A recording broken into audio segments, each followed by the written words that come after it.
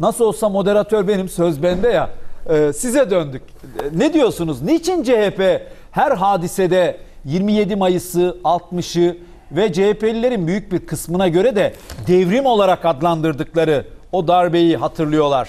Bu işin arkasında, bu işin altında, bu işin üstünde ne var?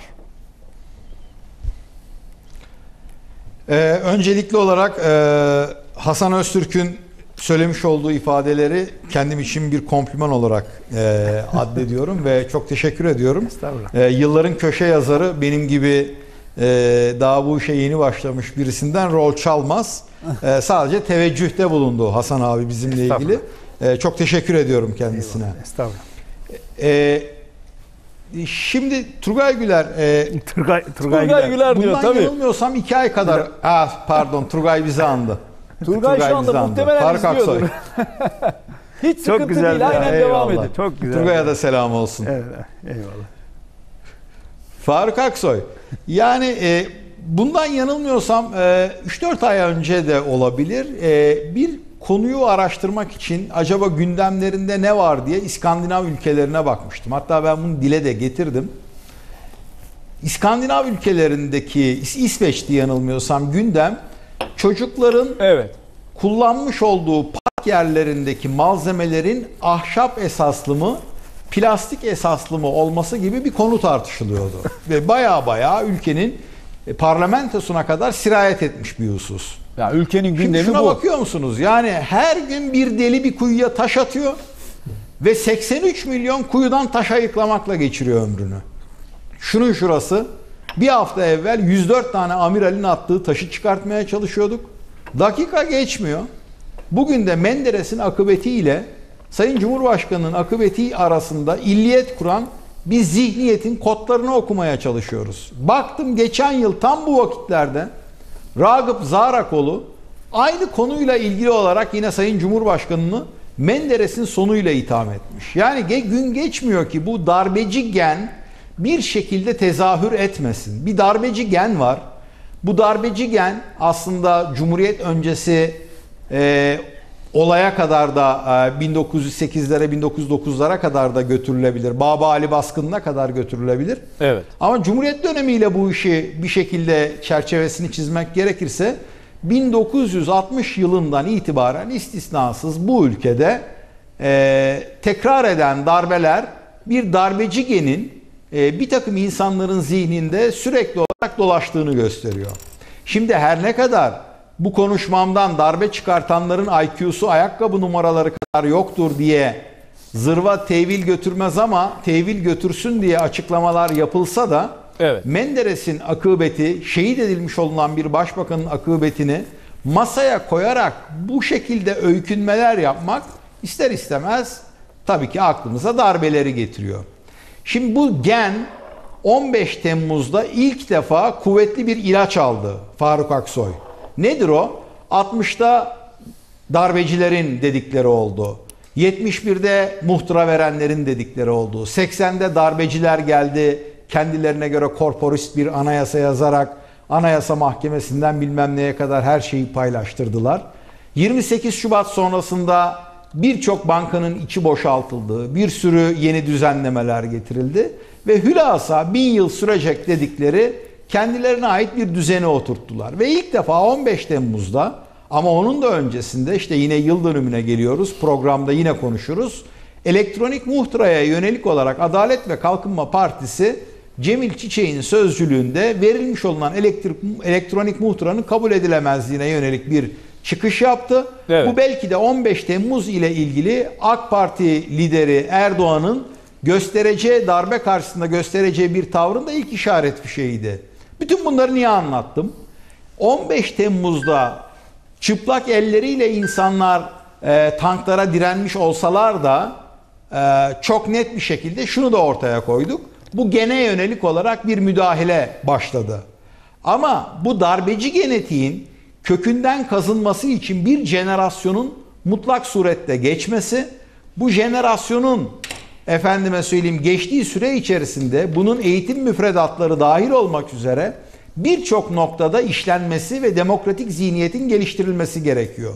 Halbuki bizde böyle değil. Yani silahlı kuvvetler bir muhtıra verip hükümete hat bildirmediği için Evet. aynı Cumhuriyet Halk Partisi'nin bir mensubu tarafından meğerse bizim ordumuz kağıttan kaplanmış şeklinde açıklamalar yapıldı. Biz bunları biliyoruz. Evet.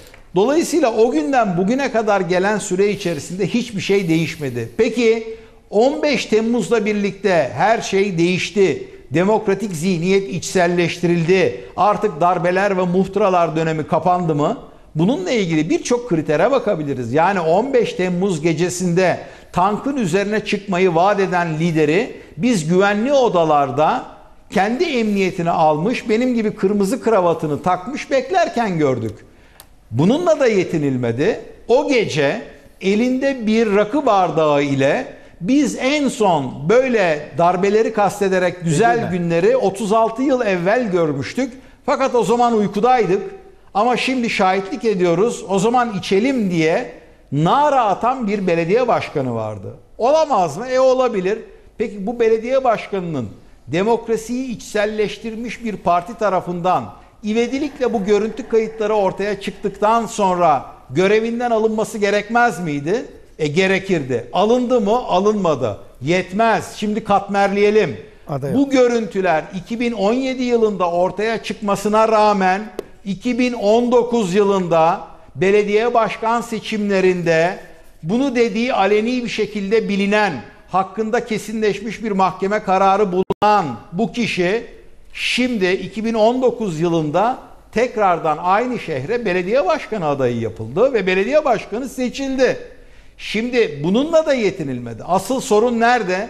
O belediye başkanının konuşmasını yaptığı bir ortamda en son biz bu güzel günleri 36 yıl önce görmüştük. O zaman içelim dediğinde o barın içerisinde yaşa başkan, budur başkan diye nümayiş yapan, naralar atan, sloganlar atan bir kitle var. İşte bu kitlenin Cemil Koçak'ın sohbetlerinde dinlemiş olduğum kadarıyla yapmış olduğu kaba taslak ölçümlerde bu toplumun %20'sinde bu darbeci genin canlı ve diri bir şekilde aramızda dolaştığını gösteriyor.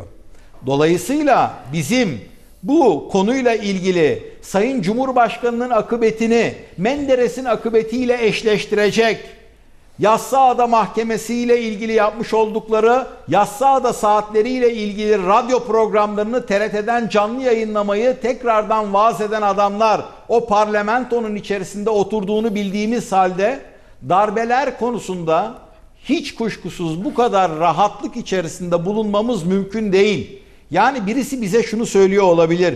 Yahu 104 amiral muhtıra veriyor, darbe konuşuyorsunuz. Menderes'in sonuyla Sayın Erdoğan'ın sonu arasında ilişki kuruyor, darbe konuşuyorsunuz. E konuşuyoruz çünkü Türkiye'de her gün kuyuya bir taş atıldığı için biz çok önemli gelişmeler yaşanmış olmasına rağmen bu konuları konuşamıyoruz. Mesela ben bir konuyu örnek vermek istiyorum. O kadar önemli ki Akıncı taarruzi insansız hava aracı bugün 3 farklı mini akıllı mühimmat denedi.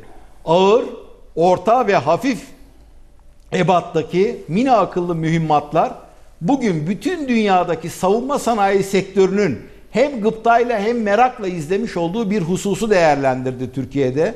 Ama bu konuyu konuşmuyoruz. Neden? Çünkü delilerin kuyuya attığı taşı çıkartmakla mesulüz. Dolayısıyla Şey- Faruk Aksoy şunu söylemek istiyorum. Evet aynen.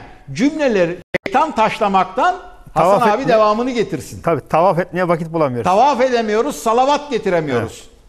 Yani e, bu sebepten dolayı bu sebepten dolayı Faruk Aksoy bir şeyin altını çizmek istiyorum. Konu açılmışken bakın 27 Nisan'ın yıl dönümüne geldik. Evet.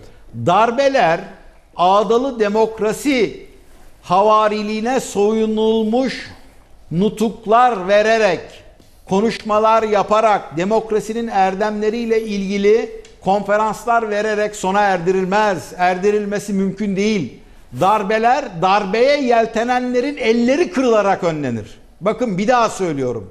Darbeler aradan geçecek bir jenerasyon içerisinde demokrasiyi içselleştirmiş eğitim verilirken çocuklarımızda demokratik görüş konusu en ince e, teferruatıyla zerrelerine kadar nüfuz ettirilirken ve akademik literatürdeki demokrasi evde tek oyun olacak şekilde herkes tarafından kabul edilmiş bir hakikat olarak kabul edilirken aynı zamanda da darbeyle bir şekilde bize sopa gösterenlerin elini kolunu kanunla birlikte yasalarla ilgili olarak söylüyorum bunu tabii ki E, teşbihte hata olmaz.